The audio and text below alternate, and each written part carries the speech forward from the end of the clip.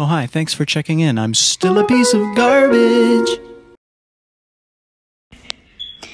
Oh my god, hello dinos. It is me, your new painting mom. Basically gotcha editing mom.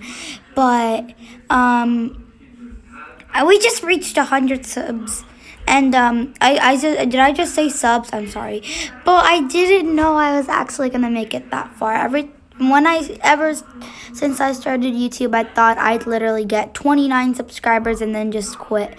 But thank you so much for 100 subscribers. It really means the world to me. And I also can't explain how much times I got diabetes today.